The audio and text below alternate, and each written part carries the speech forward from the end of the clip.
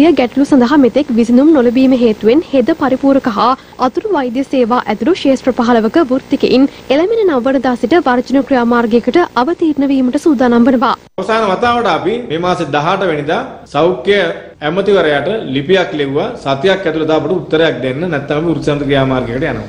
නමුත් අද වෙනකොට සාකච්ඡාවක් හෝ ලිපියට පිළිතුරක් හෝ ලබා දීලා නැහැ. ඒ නිසා තවදුරටත් ලිපි ලියන්නවත් සාකච්ඡා ඉල්ලන්නවත් හැකියාවක් නැහැ. අපේ සාකච්ඡා කාල සීමාව ඉක්මවා යමින් තියෙනවා. නොසලකා හැරීම් සම්බන්ධ තත්ත්වය ඉවසීමේ සීමාවත් ඉක්මවා යමින් තියෙනවා. ඒ නිසා අපි සෞඛ්‍ය වෘත්තීයවේදීන්ගේ සම්මේලනයේ විදිහට තීරණය කළා තියෙනවා. ඉදිරි සතිය තුල නිශ්චිත විසඳුමක් මේ ප්‍රශ්නයට නැත්නම් නොවැම්බර් 9 වෙනිදා දීප ව්‍යාප්ත සංකේත වැඩවර්ජනයක් සෞඛ්‍ය සේවාව තුළ ක්‍රියාත්මක කරන්න. ඉල්ලීම් හයක් මූලික කරගන්නවා. මේ ඉල්ලීම් හයේ ප්‍රධාන වශයෙන්ම තියෙන්නේ සෞඛ්‍ය අමාත්‍යාංශය තුල සෞඛ්‍ය වෘත්තීයවේදීන් විදිහට මේ කණ්ඩායම් වලට කරන කෙනෙහිලිකම.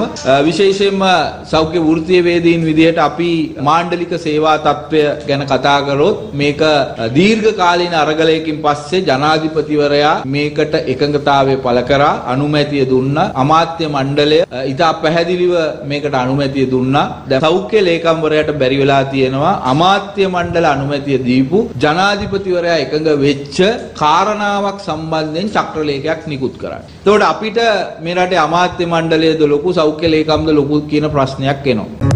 දිනපතා අලුත් වීඩියෝ සහ ප්‍රවෘත්ති නැරඹීමට ඉහත බටන එක ක්ලික් කර සියත TV සබස්ක්‍රයිබ් කරන්න.